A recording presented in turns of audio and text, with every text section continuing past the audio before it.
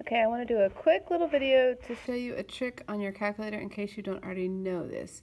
Um, hopefully, well, if you have a Casio, this will work great. If not, I should go play and see if Desmos will do this for you. I don't know. But I was working these problems for HL um, and wanted to make sure I was right.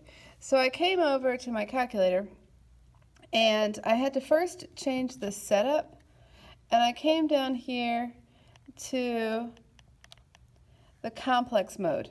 And so notice I, my options are to the real or the a plus bi or r is less than theta. I'm not sure exactly what that one means. So um, I want I switched it to this i a plus bi.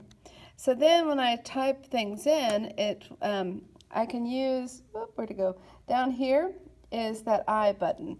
So let's check. I've checked the first two and I did the right thing, so this is good. Then I need to do 1 plus 3i over 2i plus 1.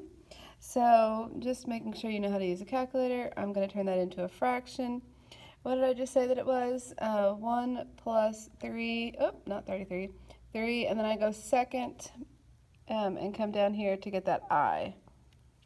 1 plus 3i over, what was it, 2i plus 1. And when they cleaned that up, they got the same thing that I got. So good just thought you might be curious and um, don't let that become a, a crutch, but it can be a tool that you use to, to make sure you're correct. So good luck. Make sure you practice.